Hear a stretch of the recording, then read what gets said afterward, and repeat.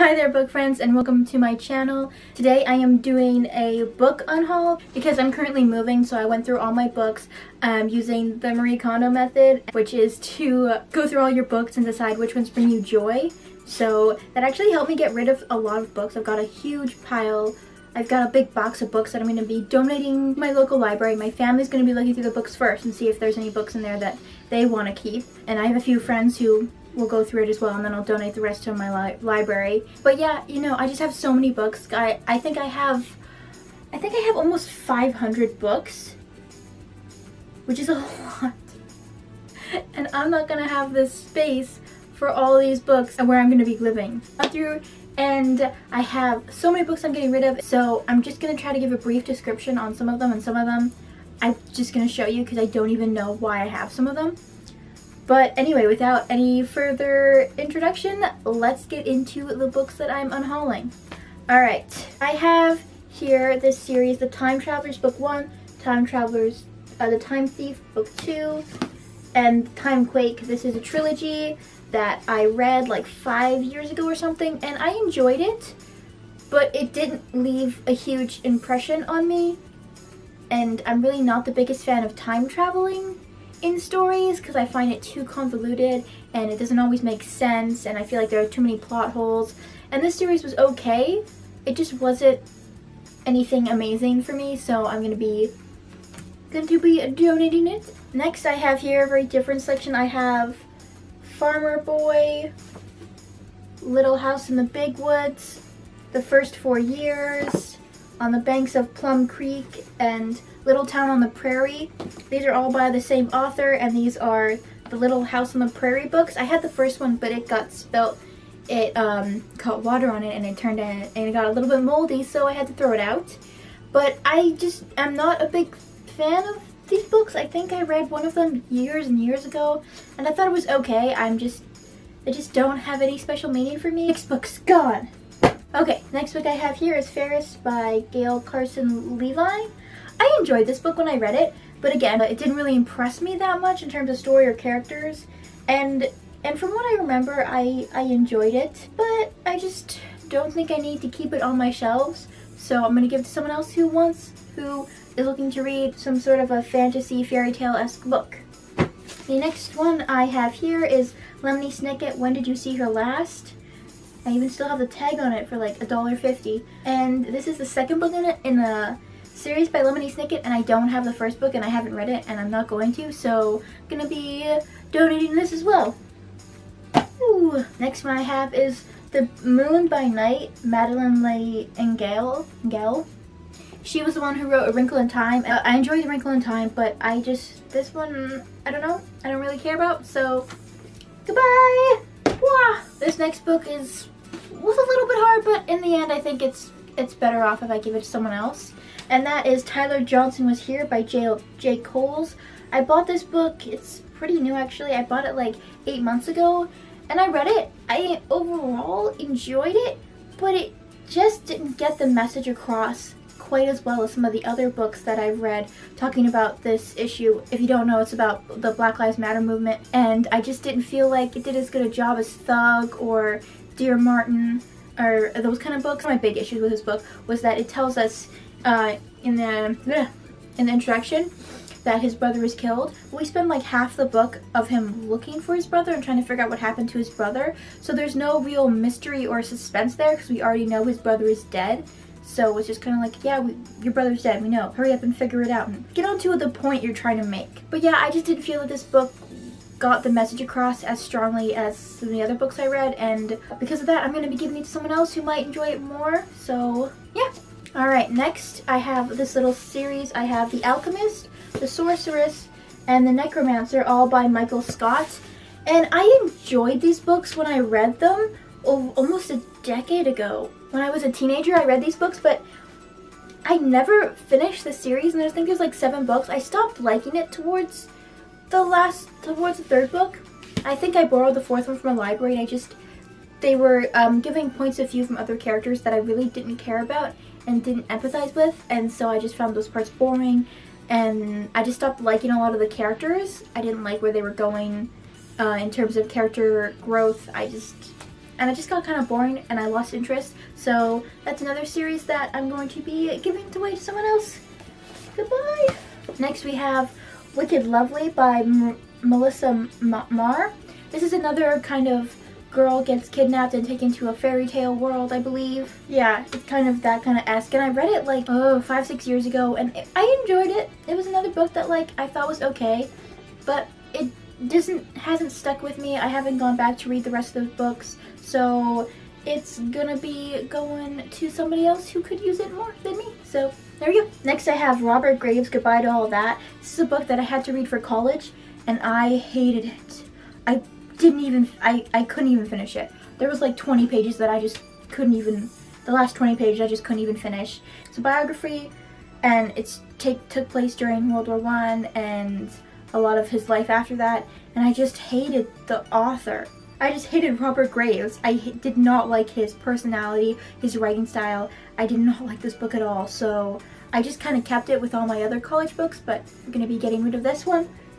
Uh, I have these next two books, Deception's Pawn and Deception's Princess, or this is the first one.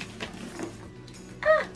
And I finished these a few weeks ago, and I really didn't like them, which is sad because I have the author's other books. She has written, uh, the author is Esther Friesner, and she has written a series of duologies about princesses and about medieval princesses in different cultures, and I have liked all of her other books, but these ones, like, the plot was barely there, and the character we were following was not interesting, and it takes place in Ireland, so I was really excited for, like, some Irish fantasy, and it's a, a Queen Maeve as a princess, and I just thought that this story was going to go somewhere interesting, and it never did, so I'm overall pretty disappointed with it. It had a few good elements to it, but overall it just fell flat of everything that it was trying to prove and I was just really disappointed in the series so I'm not going to be keeping it around. And then I have The Voyage of Argo, Apollonius of Rhodes, uh, Penguin Classics and I don't even know why I have this. I'm not interested in it so goodbye!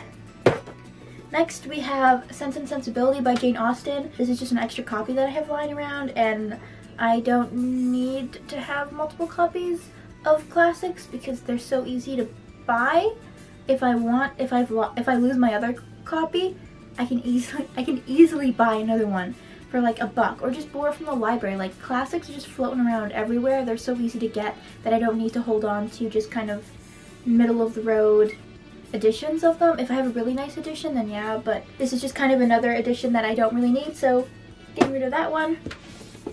Next we have The Golden Stallion and the Wolf Dog, Rutherford G. Montgomery. I don't know why I have this book. It's a pretty edition, but I don't need it. It's it is kind of old and fraying as well. But overall, I'm just I just don't need it. So goodbye. Heidi by Johanna Spyri. I'm not interested in reading this, and I just it was just kind of hanging around with the classics just just because. So goodbye to that one. And then we have the Hardy Boys, The House on the Cliff, like a mystery novel or something. I, I don't really like mystery novels very much and I don't know why this is floating. I don't know what this is about or anything about it, so going in the pile. Chicken soup for the kid soul. I don't know why this is floating around. Get into that one. Ugh. Next, I have like three different dictionaries for some reason. Just because I was like, oh hey, the dictionary, I'll keep it, sure. But, I mean, if I need to look up how to spell a word or what a word means, then there's always the internet so I don't really need to hold on to these copies, so going in there. Away. Next we have David Copperfield by Charles Dickens and Charles Dickens' Great Expectations. And I'm just not interested in keeping these. If I ever find that I need to read these or that I want to read these, I'll just go to the library or use one of my apps that I have for books. So, goodbye. Next we have a couple of nice classics here, The Swiss Family Robinson and Around the World in 80 Days and they're pretty, but I just don't care about them really, so bye. Dust flew up when I hit them. Oh. Next book I have, I'm going to be giving away to um, a friend of mine or my cousin, which whoever wants it. But that is Magnus Chase and the Gods of Asgard. My mom got me this book for Christmas two years ago, and I just haven't been that interested in Rick Riordan's latest works. And this one, the character really felt like uh, a carbon copy of Percy Jackson. And if I want to read about Percy Jackson, then I'll read Percy Jackson.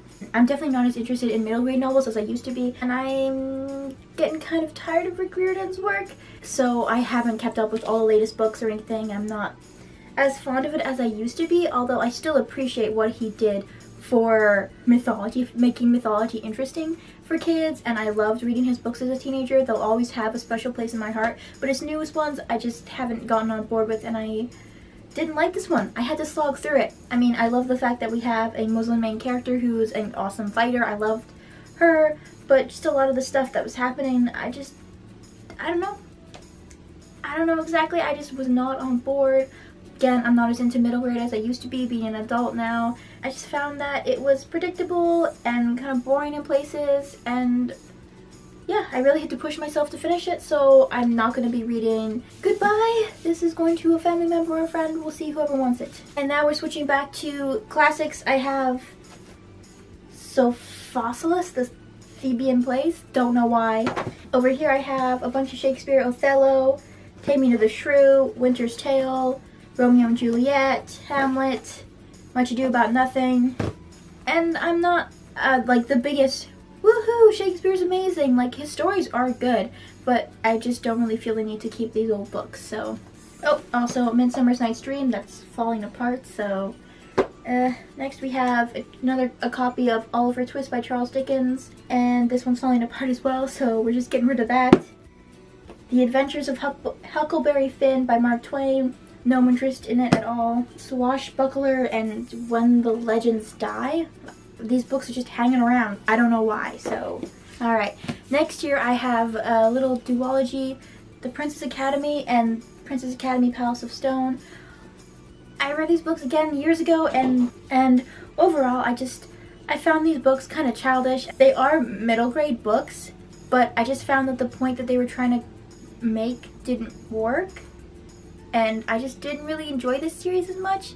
And I felt like things that happened in the second book that the wrap that it was too easy. I felt like it just it wrapped itself up too easy and neatly and I wanted it to be a little bit more complicated complicated even for a middle grade novel and I just feel like it was not as good as it could have been so there we go. The next book I have is The School for Good and Evil by Soman Chainani and I read this series, the trilogy, and I enjoyed parts of it but there were a lot of parts of it that I really thought were weird. And it's kind of sad because this this story has a really interesting premise where these two girls live in this kind of like rundown like village and they get kidnapped and taken to the school for good and evil and their roles are switched in the books and the girl who thought she'd get into the school for good gets into the school for evil and the girl who thought she'd get into the school for evil gets into the school for good and I thought that that was really interesting. I just didn't feel like they did as good a job of it with this series as they could have. The series fell flat on a lot of the ideas and themes that it was that it had and I felt like it could have been so much better and I just didn't really enjoy it as much as I wanted to. Um, the first book was good, the second book got kind of weird at points, and the third book I don't really remember much, but yeah, that's just one that I wanted to like more than I did. And hopefully someone else picks it up who likes it more than me. Next we have the Artemis Fowl Files, and Artemis Fowl, The Arctic Incident, and Artemis Fowl, the first book, I think, yeah. And these ones, I, I have no interest in keeping because I didn't like Artemis Fowl. I didn't like the character. The books were interesting, and I might check out the TV. I think it's a TV show that's coming out or a movie. I might check. It, I'll probably check it out, but I just know that I'm not interested in reading the books because I didn't like Artemis Fowl in the books. I mean, I hear he gets better, but I just never really had that much interest in it. I vaguely remember reading the first book. I'm not sure if I finished it, but I just know I didn't really enjoy the main character and a lot of the stuff that happened was, wasn't my cup of tea. So yeah, that's another series that I feel like is really popular, so someone else might enjoy it more than me. The next little series I have here is two books, Splintered by A.G. Howard and Unhinged. And this is a Alice in Wonderland kind of retelling, and in the first book it's kind of, she gets kidnapped to this Alice in Wonderland world. And I enjoyed the first book, but not enough for me to ever actually read the second book. I bought it because I was like, oh hey, I enjoyed the first book, so I'll read the second book eventually. and I never did, and I don't think I'm going to. My friend finished this series. Um, it's a little trilogy, and she finished it and she said it was really weird and I trust her opinion so I'm not going to be continue with this series or ever get around to reading this book. That's another one that's going away! Next we have Rebel Angels by Libba Bray. I'm not the biggest fan of a lot of her books. I've tried to get into some of her other ones but I didn't enjoy them that much. And this is the second one I think trilogy. Uh, I don't remember much although I don't think I enjoyed the third book that much. The ending was really weird and it didn't leave like a huge impression on me. I'm not going to be buying the other books or anything, so I don't need to keep one book, the middle book, in a series that I'm never going to read again. Here we have The Warrior Heir by Cinda Williams Chima, and oh, The Enchanter Heir. I got this from a library sale, if you can tell, and I enjoyed the first book. I actually haven't even read this book. I think it's the second one. I think. It doesn't even say. Who knows? Who knows? Uh, I enjoyed this book, but not enough for, again, not enough for it to leave a, like, a really decent impression.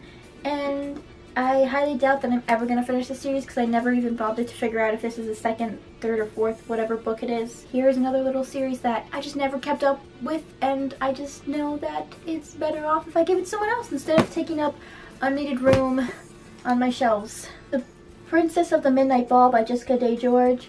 Don't remember much about this. think I enjoyed it, but it didn't leave an impression, so boop. Getting rid of that book. Next we have The Museum of Heartbreak by Meg Leder.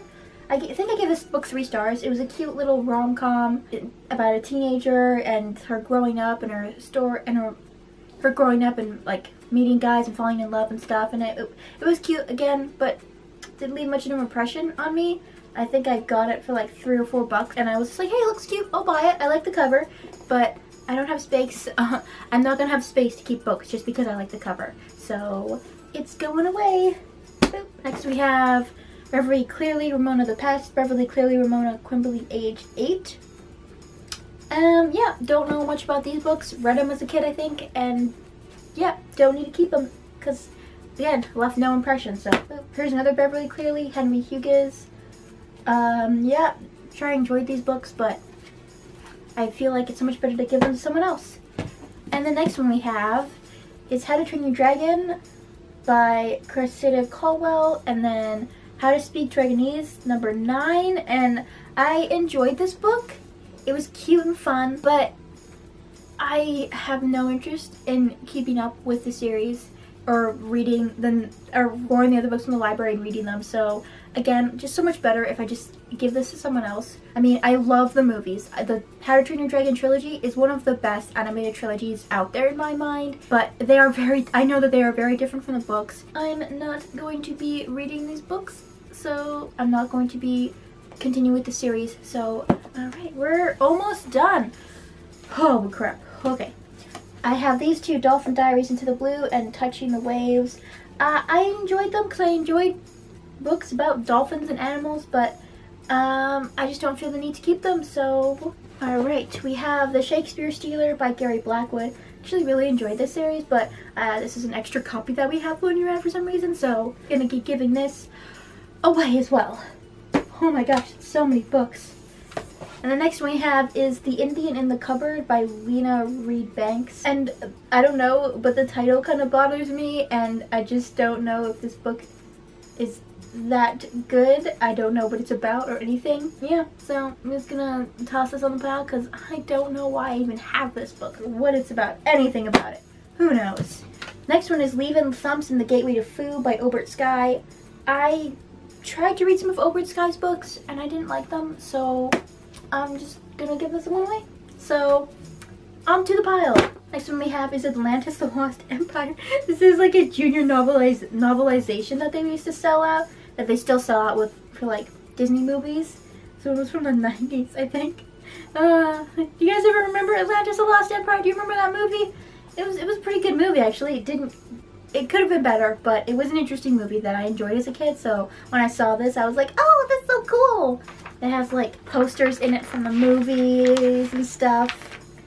But uh, yeah, it's just not one that I need to keep.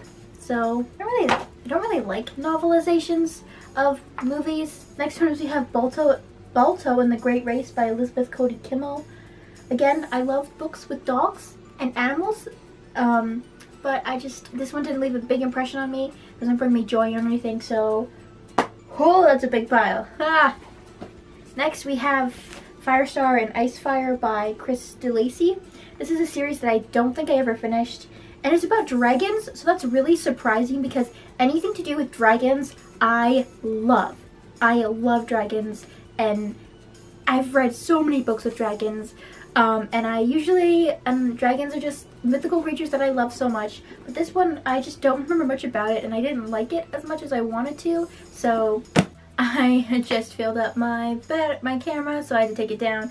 And I don't remember what I was talking about before. Um, I had these books, okay? So yeah, was not the biggest fan of this series, and I thought it was okay, but I don't remember much about it, and it didn't really make it, didn't really stand out to me, so on the pile. The next one I have is Amber Brown by Paula Danziger. Again, another middle grade book that I bought, probably got from Scholastics that I enjoyed, but didn't leave a huge impression. Doesn't bring me joy now, so wow, that's a big pile of books. The next two I have are Going Solo and The Witches by Roald Dahl. Um, I enjoyed The Witches. I think there's actually a movie based off it that I saw that was made like over a decade ago or something. It's all a little vague in my mind, but the series does not bring me joy, so I don't remember much about it, and it's going to somebody else who maybe will like it more than I do. Then we have here The Miserable Mill. This is the fourth book in the series of unfortunate events, and I have all 13 of them, but I have an extra copy of this that I don't really need to keep. So we're just gonna throw that in pile there. Next we have the Snow Spider Trilogy by Jenny Nimmo. And I, I think I, I like this one, this series a lot. I remember really enjoying it, but I don't think I'd enjoy it as much now as if, if I reread it. And I don't remember much about it. It doesn't hold a special place in my heart. I'm not nostalgic about this little trilogy. And yeah, I think somebody else might enjoy it more than me, so gonna give it, gonna put it on the pile. Next is the Wishbone the Adventures of Wishbone Salty Dog by Brad Strickland, inspired by Treasure Island. Um, of course, uh, there's a dog with a pic, so child me probably was like, oh, dog, yay, I'll read a book with a dog about it, and yeah, I don't remember much about it, and I think someone else will enjoy it more. I say that about all these books. Next one I have is That's What Friends Are For by Joni Hilton. This was a cute novel about two young women who were friends and like the trials and tribulations that they went through and I enjoyed it but not enough to keep on my shelves. We have a book of poetry and yeah nothing really to say about that so I don't know anything about it so it's just going over there. Next we have whoa, Ludo and the Star Horse. Of course it has horses on it so yeah this is one that I don't even know why I have or what it's doing on my shelves. We're on to the last series that I have. Okay, the one book at a time. Book one, Magyk. Book two, Flyte. Book three, Physik. Book four, Queste. This was a series that I enjoyed as a youth, and but I never finished the series because I stopped liking around the fourth book. It got kind of boring, and I just got I just lost interest. So never gonna finish it. Never gonna finish the series. It doesn't hold really like a special place in my heart, so I I think that someone else will enjoy it more than me because it's not a bad middle grade series. And I think there's some kids out there who would like it a lot more than I do and I don't want to take up all the space on my shelf. So many books. I'm actually a little sweaty. oh, but boy oh boy, once I get all these out, I'm going to feel so much better about myself because, you know, I used to be one of those people who would keep all my books, which is why I ended up with over 500 books in my shelves. Like a year ago, I went through and I got rid of some, but I really decided that I needed to go and thoroughly cleanse my bookshelves. And honestly, it feels so good to have gotten these books off my shelves. And I think for me personally that I don't have, if, if a book that's on my shelf is not one that, you know, brings me joy, makes me happy, it's not something that I need taking up space in my uh, life. I think that there's so many that that it's a really good thing to donate books and give away to other people who could enjoy them a lot more. But yeah, that's my unhaul for today. Oh, feels so good. Feel like my shoulders have been lifted. I feel cleansed.